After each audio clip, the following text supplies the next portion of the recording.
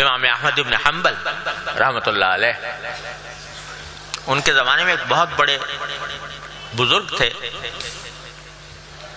صوفی تھے، حضرت بشر حافی رحمت اللہ علیہ۔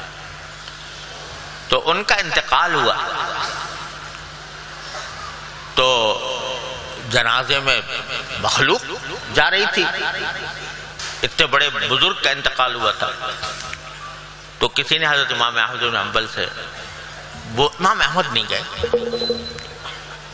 تو کسی نے پوچھا کہ حضرت کیوں نہیں تشریف لے گئے؟ کہا کہ اصل میں لم تحضرنی نیہ میرے دل میں نیت صحیح نہیں آ رہی تھی۔ اللہ کو راضی کرنے کی نیت نہیں آ رہی تھی جنازے جانے کی۔ یہ خیال آ رہا تھا کہ اتنا امبوہ جا رہا ہے جنازے میں اگر میں نہ گیا تو لوگ کیا سمجھیں گے؟ کیا احمد ابن حنبل بشر حافی کے جنازے میں نہیں گیا؟ تو لوگوں کی کہنے کی وجہ سے میں جاتا تو اس میں اخلاص نہ ہوتا۔ تو لم تحضر نہیں نیت نیت صحیح ہوئی تھی، اس واسطے میں۔